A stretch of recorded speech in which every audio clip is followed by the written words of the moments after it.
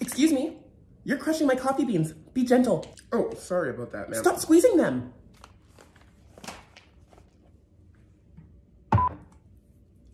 No, you cannot put my canned tomatoes with my canned beets. They need to be separated or they'll cross-contaminate. That is not how cross-contamination works. Yes, it is. Is this your first day or something? How inept can you be? Ma'am, you are more than welcome to bag your own groceries. I'm sorry, but do I work here? No, you do. You need to figure it out. Can you not touch my groceries, please? How can I scan your items if I don't touch them? Figure it out.